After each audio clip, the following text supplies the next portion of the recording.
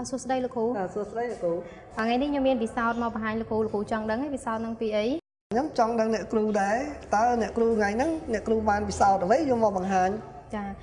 ខ្ញុំខ្ញុំអត់តន់ប្រាប់លោកគ្រូទេខ្ញុំចង់ឲ្យលោកគ្រូឆ្ងល់សិនហើយខ្ញុំក៏មានសំណួរសួរលោកគ្រូដែរថាលោកគ្រូធ្លាប់ឆុងកាហ្វេឬក៏ឃើញគេឆុងកាហ្វេទេអឺបញ្ហាកាហ្វេខ្ញុំធ្លាប់ឆុងញ៉ាំដោយខ្លួនឯងតែម្ដងចាអញ្ចឹងការឆុងកាហ្វេហ្នឹងលោកគ្រូធ្វើយ៉ាងម៉េច ឆុងកាហ្វេហ្នឹងយើងមានកាហ្វេមានទឹកពុះមានស្ករអញ្ចឹងយើងឆុងហ្នឹងយើងចង់បានតែទឹកកាហ្វេទេចាអញ្ចឹងលោកគ្រូឆុងត្រូវការតែទឹកកាហ្វេលោកគ្រូធ្វើម៉េចដើម្បីបានតែទឹកកាហ្វេដើម្បីបានទឹកកាហ្វេខ្ញុំប្រើវិធីមួយ ជាវិធីសាមញ្ញដែលវាអាចតកតងទៅនឹងមេរៀនរបស់យើងដែរគឺវិធីចម្រោះចា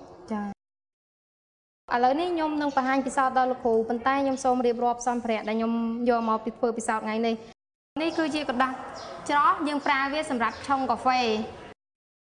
មេដែកសាច់ម៉ត់ដុំគ្រួសាច់គ្រើមកំទេចដែកឬក៏ម្សៅដែកដំរងកន្ត្រៃកែវហើយនេះគឺជាជីឡាវដែលខ្ញុំបានធ្វើអំពី ធ្វើអំពីដុតទឹកសុទ្ធហើយនៅក្នុងចាននេះគឺមានម្សម្សម្សៅនៃឌីសខ្ញុំលាយជាមួយនឹងទឹក ហើយចុងក្រោយគឺចង្កឹះចាឥឡូវខ្ញុំមានសម្ភារៈទាំងអស់នេះអញ្ចឹងខ្ញុំប៉ះសិនមកខ្ញុំលាយរបាយពីរនេះចូលគ្នាតើលោកគ្រូអាចញែកវាបាន តាមវិធីណាបើសិនជាយើងចង់បានគ្រោះបើតាមខ្ញុំយល់ លបាយទាំងពីរហ្នឹងនៅពេលដែលអ្នកគ្រូលាយចូលគ្នាបើតាមខ្ញុំយល់ប្រហែលជាប្រើវិធីមួយដែលងាយជាងគេគឺវិធីរែងចាអញ្ចឹងលោកគ្រូអាចសាកល្បងបានទេចាប់តាមពិសោធន៍ហ្នឹងយើងអាចសាកល្បងបានជាវិធីមួយដល់ពេលយើងចាក់ចូលទៅបាទខ្សាច់ហ្នឹងអាចធ្លាក់ចុះទៅខាងក្រោមបាទពេលនោះយើងនឹងបាន ក្របគ្រោះចេញមកវិញដាក់ទៅម្ខាងវិញចាចាអញ្ចឹងវិធីហ្នឹងឲ្យជាវិធីមួយដែលយើងអាចក្រែងក្របគ្រោះចេញពីអ่าក្រែងខ្សាច់ចេញពីក្របគ្រោះបានចាចុះបើសិនមកខ្ញុំមានម្សៅដែកហើយនឹងមានសាច់គ្រើមចាក់ចូលគ្នាអញ្ចឹងលោកគ្រូអាចញែកម្សៅនឹងចេញពីខ្សាច់នឹងបានតាមវិធីណា វិធីញែកលបាយមានវិធីជាច្រើនប៉ុន្តែខ្ញុំយល់ថាការញែកលបាយទាំងពីរហ្នឹងពីព្រោះនៅក្នុងហ្នឹងមានដែកហើយនិងខ្សាច់អញ្ចឹងខ្ញុំគិតថាបើតាមវិធីដែលញែកស្រួលជាងគេ ដែលងាយជាងគេព្រោះនៅកន្លែងហ្នឹងអ្នកគ្រូមានមេដែកមួយអញ្ចឹងបើតាមខ្ញុំយល់ប្រហែលជាអាចយកមេដែកមកឆក់ទាញកំទេចដែកចេញពីពីខ្សាច់បានចាអញ្ចឹងលោកគ្រូអាចធ្វើពិសោធន៍បានទេបាទអញ្ចឹងកន្លែងហ្នឹងខ្ញុំអាចធ្វើពិសោធន៍បាន ឬមួយក៏អ្នកគ្រូអាចធ្វើបង្ហាញខ្ញុំបន្តិចមើលក្រែលោអ្នកគ្រូអាចលោកគ្រូចង់ខ្ញុំធ្វើបង្ហាញវិញបាទេទចាអញ្ចឹងលោកគ្រូចាំមើលណាអូ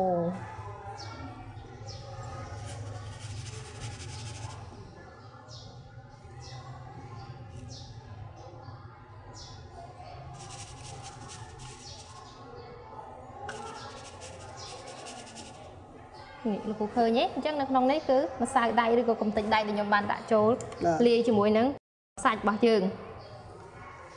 បាទអញ្ចឹងតាមវិធីហ្នឹងយើងអាចស្រូបទាញកំទេចដែកបានចេញពីលបាយចាឯដីសជាមួយទឹកនេះវិញតើអ្នកគ្រូយកមកសម្រាប់ធ្វើអីចាអញ្ចឹងនៅក្នុងហ្នឹងមានដីសនិងទឹកខ្ញុំយកមកគឺខ្ញុំលាយគ្នាហើយប៉ុន្តែឥឡូវហ្នឹងខ្ញុំចង់បាន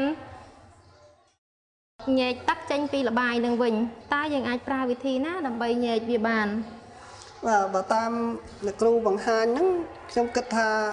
យើងប្រើវិធីមួយ ដែលយើងបានសិក្សាមកហ្នឹងគឺវិធីចម្រោះ ចា បាទអញ្ចឹងអ្នកគ្រូអាចធ្វើវិធីចម្រោះហ្នឹងឲ្យខ្ញុំមើលតិចមើល ចាអញ្ចឹងអានេះយើងបានត្រៀមហើយហើយកระดาษនៅក្នុងហ្នឹងគឺกระดาษដែលយើងប្រាប់អឺគឺกระดาษឆុងកាហ្វេហ្នឹងយើងចាក់វាចូលទៅលោកគ្រូចាំមើលណាយើងនឹងទទួលបាន ទទួលបានអី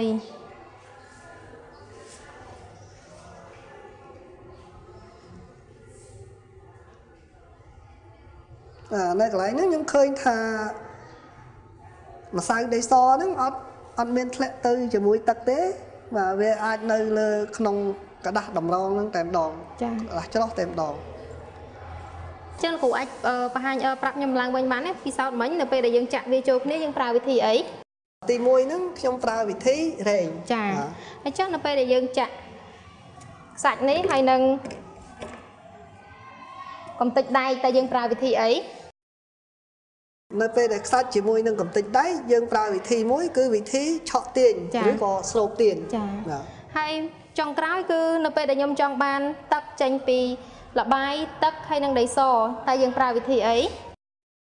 យើងចង់បានទឹកចេញពីលបាយដីសយើងប្រើវិធីមួយគឺវិធីចម្រោះចាចា